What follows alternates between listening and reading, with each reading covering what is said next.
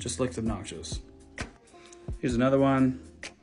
Got all this excess fabric in the hat. Just really not that necessary to have all that. Then here's forward. Then here's a look at mine when it's on forward. And just to be clear, this is my size small medium, so it still has height in the hat.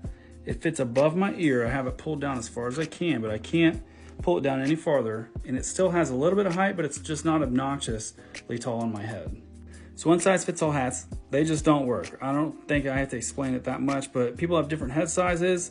One size fits all hats, they only adjust the back strap. They don't adjust the height of the hat. So I took the one size fits all concept and I broke it into sizing. My size large, extra large, that's in line with most one size fits all hats. But when we're talking about my small medium, I scale down the crown height so it fits better. And I also scale down the, the circumference so it fits better. It's just proportionally scaled down.